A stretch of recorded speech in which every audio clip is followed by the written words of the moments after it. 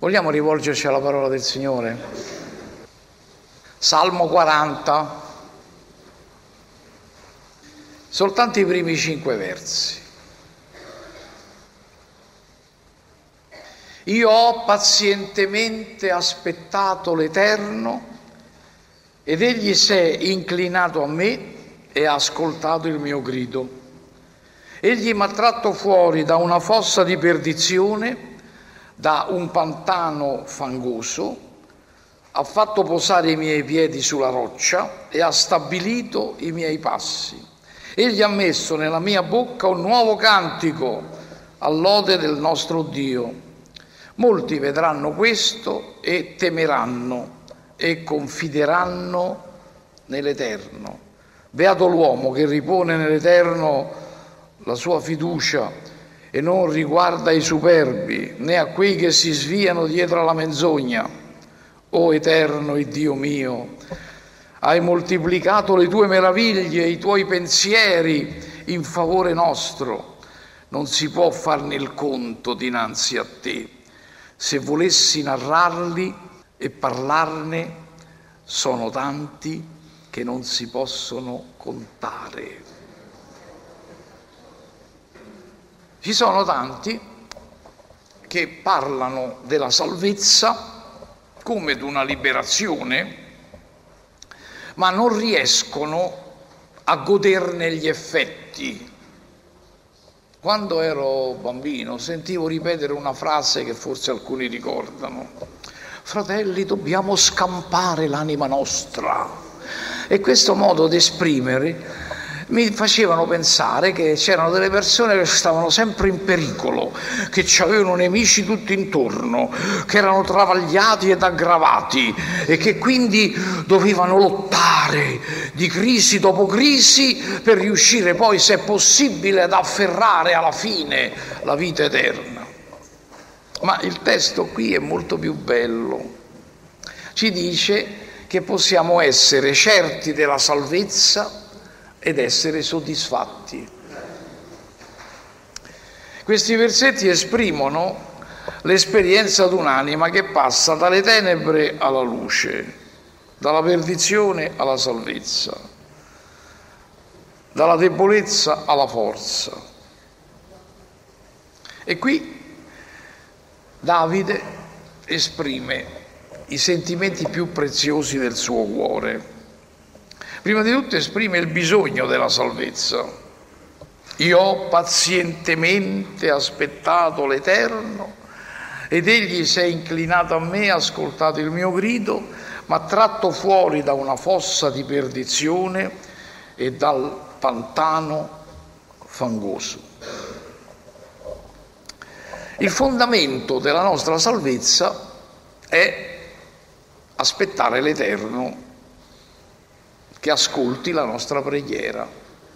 E qui, ultimamente sto, il Signore mi sta mettendo dinanzi l'importanza della preghiera. Tutti più o meno preghiamo, eh? La mattina, la sera, a pranzo, sono preghiere di circostanza, preghiere di gratitudine, preghiere direi tradizionali, perché i cristiani ringraziano Dio per tutto. Ma la preghiera della quale il Signore vuole parlarci è una preghiera un po' diversa. È una preghiera per, fino a che Dio non ascolta il nostro grido. Quando preghiamo prima di pranzo, noi preghiamo e non è che diciamo adesso aspettiamo che il Signore ci risponda, perché altrimenti non mangeremo più. Quando preghiamo al mattino, ci stiamo alzando per andare al lavoro, non diciamo adesso io sto in preghiera fino a che il Signore non risponde alla mia preghiera, perché ci abbiamo impegni. E la sera, pur non avendo impegni, forse siamo tanto stanchi della giornata, che facciamo un po' come faceva quel direttore dell'istituto biblico che credevano che pregasse tutta la notte e che stanco dopo una giornata di lavoro alle 11 di sera saliva nella sua stanzetta e uno studente si era nascosto nell'armadio per sapere qual era il segreto della, della potenza di questo servo di Dio. Dice così vediamo, questo pregherà tutta la notte e invece mentre si stava spogliando disse soltanto Signore buonanotte, non gliela faccio più. Si spogliò e dormì tutta la notte, non dormì lo studente dentro l'armadio. Ma la preghiera vera è qualcosa di più, è aspettare l'Eterno, è sapere che Lui ha ascoltato il nostro grido. Tutti noi vogliamo qualcosa dal Signore, eh? O no? Ci ha dato tanto, ma vogliamo di più. Ci ha salvato, ma vogliamo la benedizione. Ci ha benedetto, ma vogliamo il risveglio. Ci ha salvato, ma vogliamo il battesimo dello Spirito Santo. Ci ha dato il battesimo dello Spirito Santo, vogliamo la manifestazione dei doni dello Spirito. E è il bisogno di ciascuno di noi, perché Dio ha cominciato l'opera sua in una maniera bella. La sua opera è stata un'opera profonda, una, un'opera che è arrivata tanto profondamente in noi che noi possiamo individuarne i particolari. E qui il particolare di Davide è mai tratto fuori da una fossa di perdizione e dal pantano fangoso. E non possiamo fare a meno di collegare questo verso con un'esperienza di un profeta. Lo ricorderete? Geremia. Geremia che è preso da, dal re Sedechia, piuttosto che da Sedechia. Sedechia un debole, siccome Geremia profetizzava cose brutte ma erano vere, i nemici lo presero e lo buttarono in un pozzo dove c'era l'acqua e il fango. Poveretto. Era lì finché ci fu qualcuno, si chiamava Ebed Melech, era un moro, che eh, cominciò ad aver pietà e disse ma è possibile se lo lasciamo lì in mezzo al pantano quest'uomo morirà, facciamo qualcosa. Chiamò aiuto, fece delle corde di stracci perché si preoccupava che dando delle corde normali, tirandolo su, debole era Geremia, sarebbe stato ferito dalla durezza del cordame Invece prese degli stracci, li fece a forma di corda, li gettò giù e disse a Geremia cingiti con questi stracci e lo tirarono su e lo portarono a salvezza. Avrete sentito in qualche predica che questa persona sconosciuta, poco eh, apprezzata, è la figura di colui che è il Signore della misericordia, Gesù, che quando noi eravamo nel fango del peccato non ci ha trattato male, non è stato duro con noi, ma nella sua grande misericordia ha, mandato su noi le sue grazie, ci ha tirato fuori e noi siamo in libertà. Il peccato produce la morte, il peccato produce i problemi e quindi se noi siamo lontani dal peccato, siamo al sicuro. Se invece viviamo nel peccato, i problemi vengono. E questo è il giudizio di Dio. È la conseguenza inevitabile di cause che producono certi effetti. Ma pensare che Dio sia un Dio di giudizio non mi piace. Perché se Dio è Dio di giudizio, fratelli e sorelle nel Signore, siamo tutti perduti. Dio è amore. E poiché Egli è amore, ci ha trovato nella fossa della perdizione peggio di quella di Geremia, nel pantano fangoso peggio di quello di Geremia, ci ha tratti in salvo e ci ha dato la liberazione. Io ho aspettato, ho aspettato l'Eterno. Che avrà fatto Geremia laggiù? Se lo conosciamo, da come scrive, avrà pregato. E ognuno di noi, quando si rivolge al Signore ed aspetta la sua risposta, poi può dire, egli ha ascoltato il mio grido. Il grido non è l'urlo, talvolta il grido è soltanto un mormorio, talvolta è soltanto un pensiero che rivolgiamo a Dio, ma Lui l'ascolta e interviene. Interviene e salva e compie un'opera meravigliosa, perché prima di tutto Egli si avvicina a noi, Egli si è inclinato a me, si è avvicinato a me, non sta più lontano, è vicino a me. Oh, la preziosità della sua presenza e la sua vicinanza. Dio non è un Dio lontano, è un Dio vicino. Gesù è con noi in ogni tempo e questo è il primo grande dono della salvezza. Poi ha ascoltato il mio grido e grazie a Dio non solo l'ha ascoltato, ma l'ascolta ancora. Non c'è preghiera rivolta a Lui con fede che non ottenga l'esaudimento. Poi interviene e interviene per liberarci. Quanti pericoli incontriamo tutti i giorni? Molto spesso non ce ne rendiamo conto, ma riconoscilo in tutte le tue vie ed egli guarderà i tuoi pensieri, cioè riconoscilo in tutte le tue vie. Eh, delle volte siamo così poco generosi, delle volte, sempre siamo poco generosi col Signore. Noi dovremmo lodarlo sempre, dovremmo riconoscerlo in tutte le opere sue, dovremmo ringraziarlo sempre.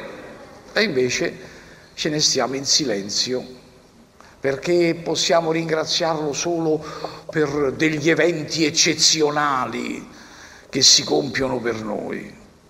Ma ogni giorno, ogni giorno, Egli fa qualcosa per te e per me e noi vogliamo ringraziarlo.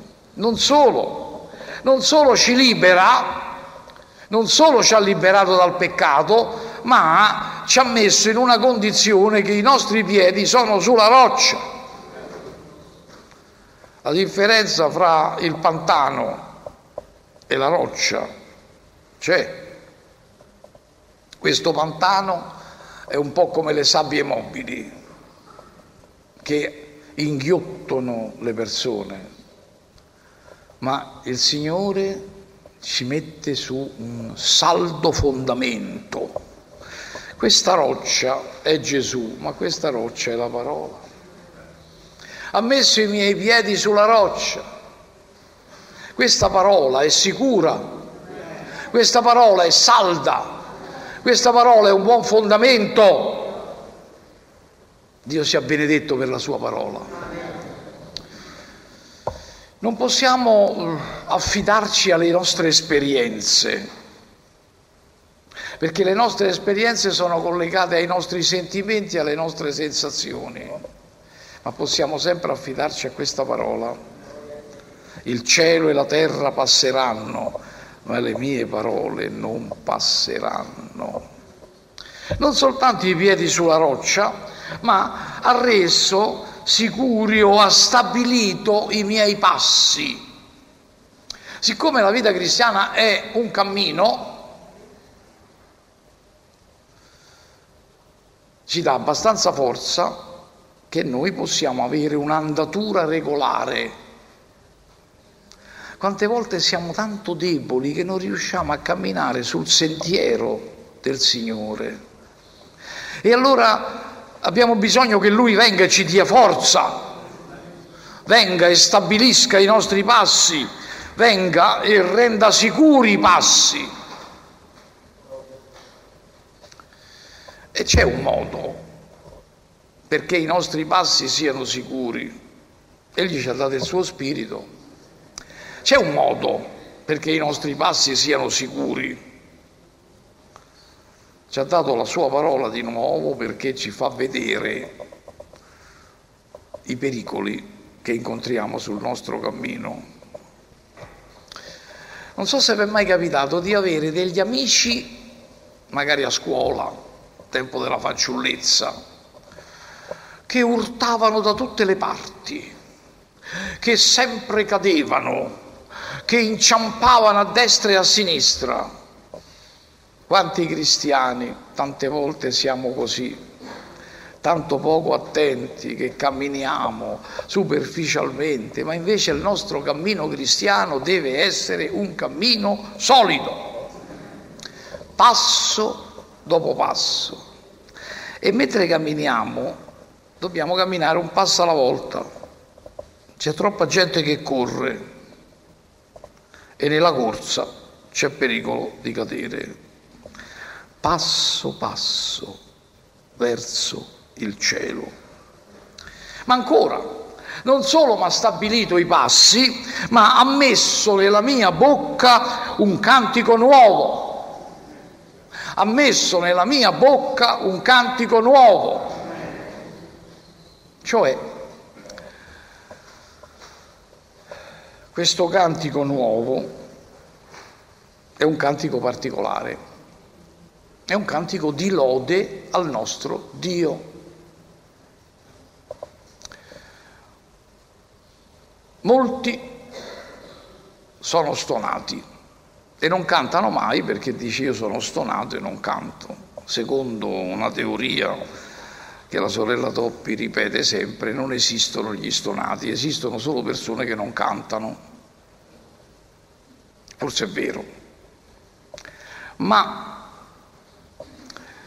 il nostro problema è che noi non cantiamo il cantico nuovo all'ode del nostro Dio. Cioè, in altre parole, il popolo di Dio è salvato e soddisfatto se esprime la lode e il ringraziamento al Signore. E noi lodiamo poco il Signore. Poco cantiamo le sue lodi. Un cantico deve partire dal cuore, non sono le labbra, non chi dice Signore, Signore, ma chi fa la volontà del Padre mio, dal cuore. Ti sei mai alzato la mattina e a un certo punto hai cominciato a cantare un cantico da dove viene, dice, possibile mai? Magari un cantico vecchissimo, di quelli che non cantiamo mai, eppure ce ne stanno 700. Eh. Che succede? Chi è che mette nella nostra mente, sulle nostre labbra, una melodia nuova, un cantico di lode, è lo Spirito Santo che vuole che noi lodiamo il Signore e invece non lo facciamo.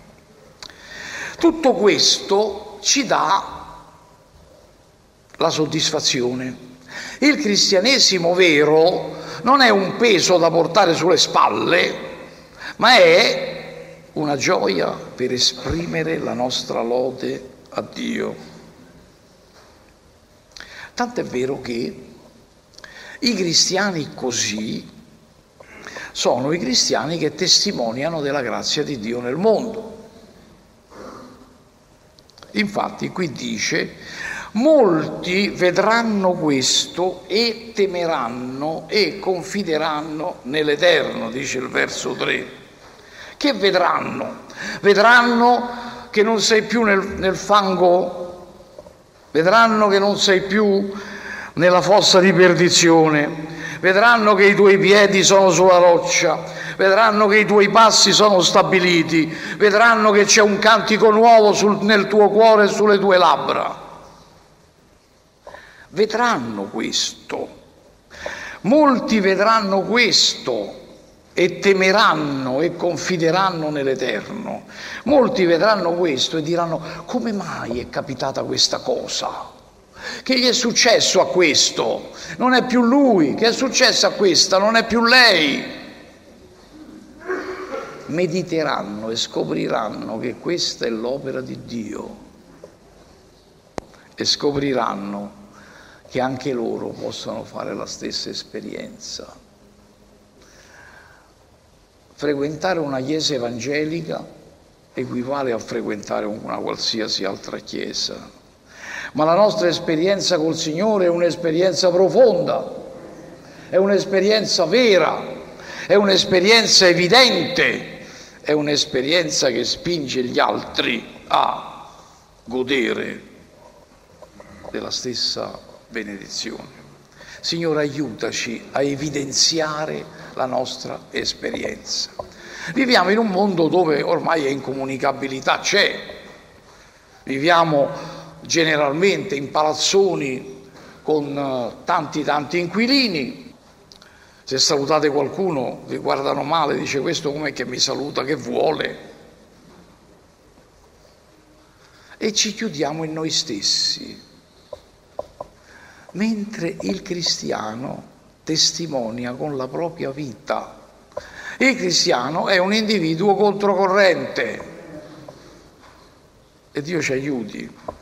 Non solo, c'è l'evidenza della salvezza. Abbiamo visto il bisogno, la benedizione, ma ora l'evidenza della salvezza è che tutti lo vedranno e poi c'è la beatitudine della salvezza.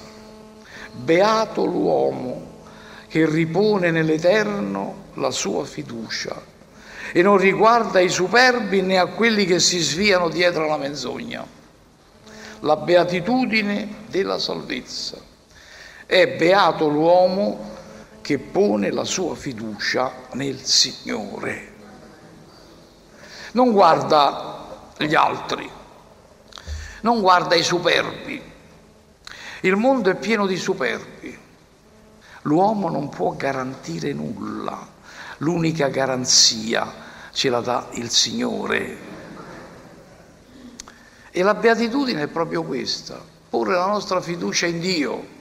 Non ti arrabbiare, non ti angariare, non ti preoccupare se intorno a te vedi tutte cose storte. L'ho detto, più ci avviciniamo al Signore, più le cose storte le vediamo. Possiamo solo avere pietà per quelli che fanno il male e pregare che Dio li faccia ravvedere, ma più di questo non possiamo fare. Ma la beatitudine del cristiano è dovuta al fatto che ha la fiducia nel Signore. E questa è la più grande ricchezza. Perché una persona sfiduciata può avere i miliardi, ma è la persona più sfortunata e più solitaria del mondo. La storia, la cronaca ce lo dice sempre. La vera beatitudine è porre la nostra fiducia in colui che non viene meno, colui che ha cura di noi, nonostante le nostre debolezze. Non solo, ma la, salvezza non solo è evidente, non solo ci dà la beatitudine, ma la salvezza ci dà la gratitudine. E qui è un punto dolente. La gratitudine.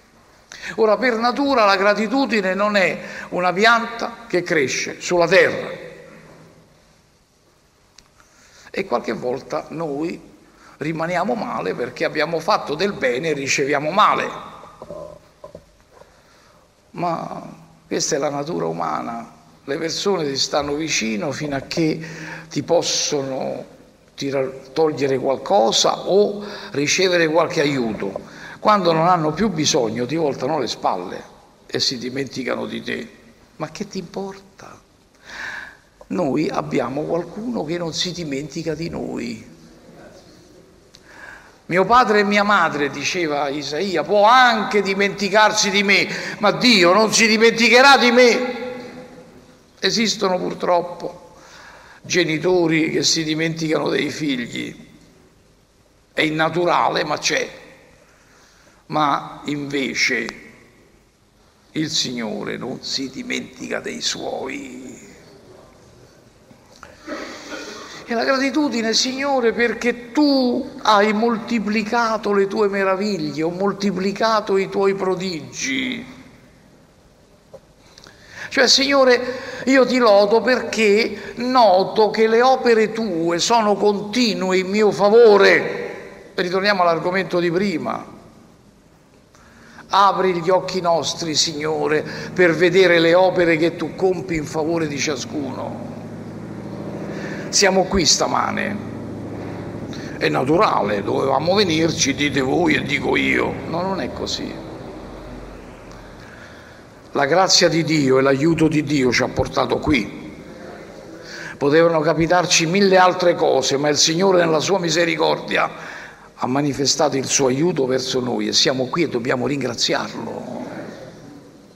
Non solo gratitudine perché moltiplica i suoi prodigi per noi, ma gratitudine perché i tuoi pensieri sono in favore nostro, come dice la nuova versione, i tuoi disegni sono per noi, è più bello, i tuoi disegni sono per noi. Cioè, Signore, tu hai dei progetti e questi progetti non sono progetti per gli altri, c'è un progetto per ognuno di noi, c'è un disegno per ognuno di noi. Molto spesso si parla del disegno universale di Dio per la salvezza degli uomini, ma c'è un disegno particolareggiato per ciascuno di noi. Dinanzi a Dio tu non sei un numero, sei tu. Se leggiamo la scrittura scopriamo che il Signore chiama personalmente Samuele, Samuele, e chiama i bambini, ma chiama anche i grandi e ognuno di noi il nostro nome, lui lo conosce, gloria sia al suo nome. E, si, e ha cura di noi perché ha un piano ed un disegno per ciascuno di noi. Eh, molti pensano che tutto viene per caso, No, il caso non esiste, esiste la volontà di Dio. Se voi guardate, ognuno guarda la propria vita, e i giovani possono guardarlo un po' meno di noi più anziani e guardiamo indietro e vediamo come Dio nella sua grande misericordia, il suo disegno si è attuato nel tempo e si sta attuando ancora. Ed è miracolosa la cosa, è eccezionale, perché lui ha un disegno per ciascuno di noi.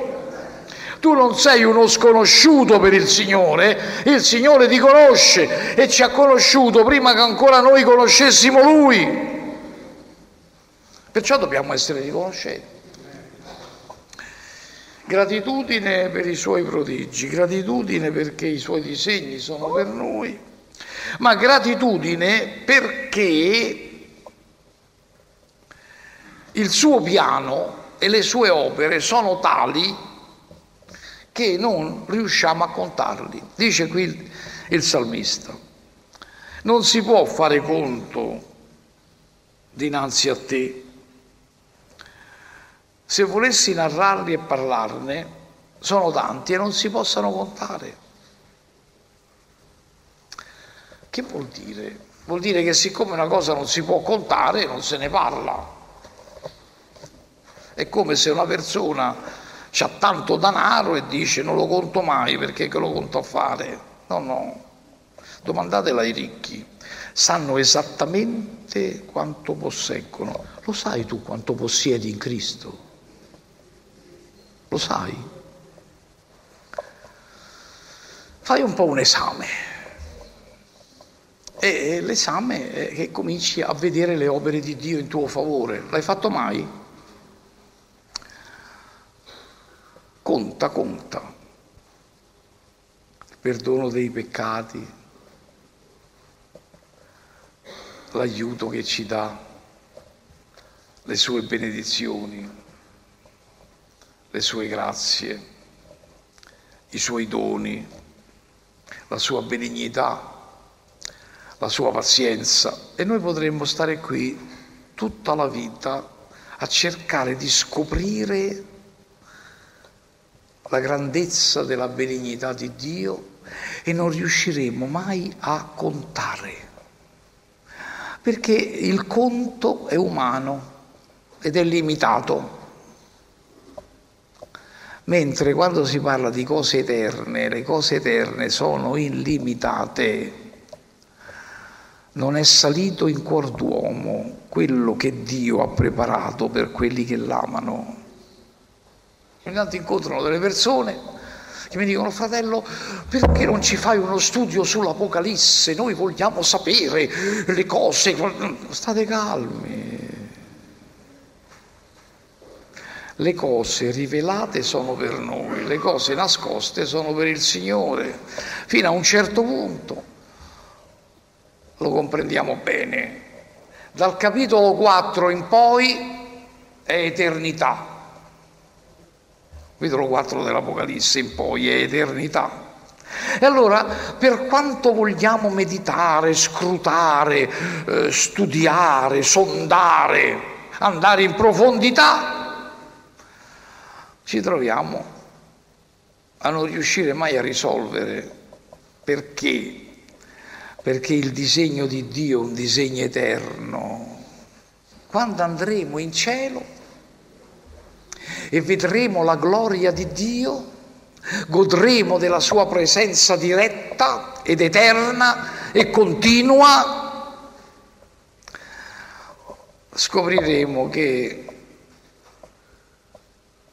la benignità di Dio è così grande che le opere sue, la sua grandezza, il suo amore, i suoi prodigi, i suoi disegni sono infiniti. E in cielo? Che faremo in cielo? Qualcuno dice io faccio questo, io faccio quello, io faccio quell'altro. Io vi dico che in cielo se si può dividere l'eternità in periodi, e credo che non si possa dividere, il 90% di quell'eternità per me io rimarrò a bocca aperta, meravigliato, perché tutto quello che ho immaginato dell'amore, della grazia, della gloria, della luce, della benignità di Dio era soltanto tanto una pallida idea che là gioiremo per l'eternità. Ma già ora, fratelli, ringraziamo il Signore e siamo soddisfatti perché Egli ci ha liberato, ci ha salvato, ci ha benedetto e ci dà la grazia di poter testimoniare di Lui nel mondo. A Dio sia la gloria da ora